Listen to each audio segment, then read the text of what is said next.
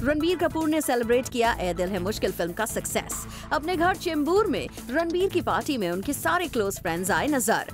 करण जौहर, आलिया भट्ट, सोनम कपूर, आकाश अंबानी, इमरान खान और अवंतिका बने इस पार्टी का हिस्सा. According to reports Alia Bhatt और सिद्धार्थ मल्होत्रा ने इस पार्टी में क्वालिटी टाइम स्पेंड किया.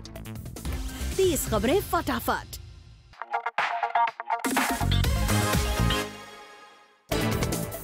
Alia Bhatt is surely on a roll, और अब after decent success of Dear Zindagi with SRK, she has become more of a superstar. दरअसल recently Alia ने अपना हेयर शैम्पू ब्रांड चेंज किया है।